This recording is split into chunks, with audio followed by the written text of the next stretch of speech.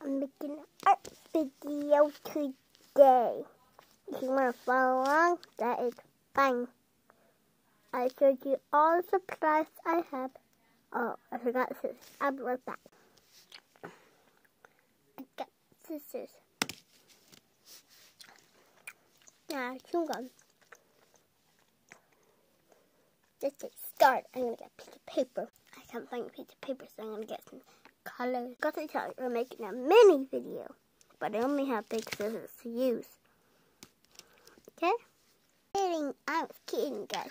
I found a piece of paper, a tiny piece of paper, and I found a tiny cloud piece of paper, and I got a pencil to draw. What comes out green? Like and subscribe for part two. Yay!